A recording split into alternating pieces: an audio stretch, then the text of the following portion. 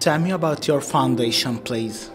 The foundation Magyar Nóta is founded because in the Holland we have a large community of uh, very passionate, good amateur musicians who play this music.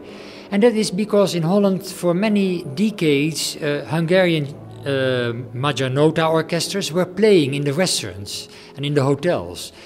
And it was easy to learn, and therefore many people in Holland uh, appreciate the music. It was popular uh, during the 90s and the 80s of the last century. And in my profession, I organize music concerts, small scale, a bit larger scale, and I wanted to program Hungarian music in Holland. And I found that there was no place left where Hungarian orchestras were playing. So I went to Budapest and uh, stayed here because I play clarinet and I had my lessons here as well with the professional musicians. And they told me, look around in Budapest. Also in Budapest, hardly any restaurant is still existing where music is played. And we found that many of our teachers and very talented musicians are without job, sitting at home.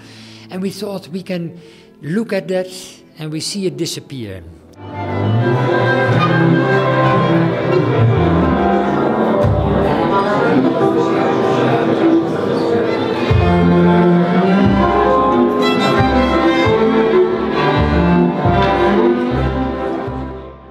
Azt gondolom, hogy ez egy öröm.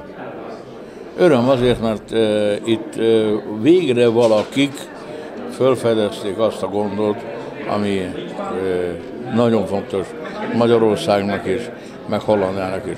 Magyarországon azért, mert Magyarországon kezdik elfelejteni magyar nótát.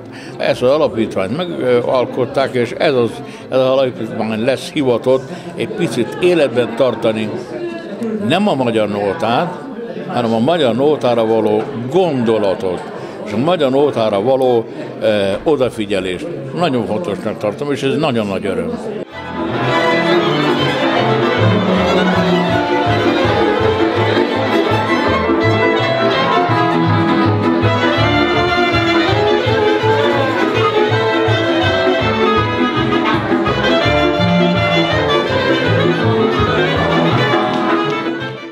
We have an evening where we um, celebrate Hungarian music, uh, which is world famous, but which at the same time, like many forms of traditional music, is disappearing a bit.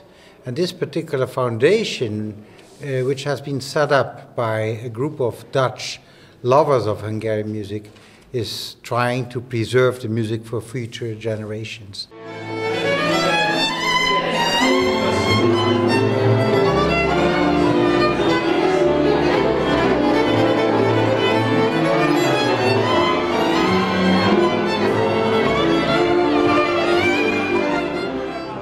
Care after the ways of gypsy music art in Netherlands?